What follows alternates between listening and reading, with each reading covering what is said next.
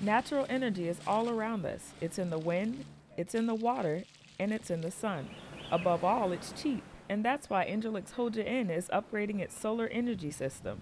The newer solar panels are, besides being more compact, they take up less room on the roof surface. The technology uh, that they're using, although is more advanced, it'll heat the water better along with the replacement of the new hot water tanks. The water will be more readily available for the guests to use. The new solar panels will also help stretch military resources by cutting energy costs. Once they're all active, it'll give us a uh, 50% in energy savings, which uh, in dollar amount, that should save us about $60,000 a year. Taking advantage of the natural resources around us is just one more way to accomplish the mission effectively and efficiently. Senior Airman Tarelle Walker, Incirlik Air Base, Turkey.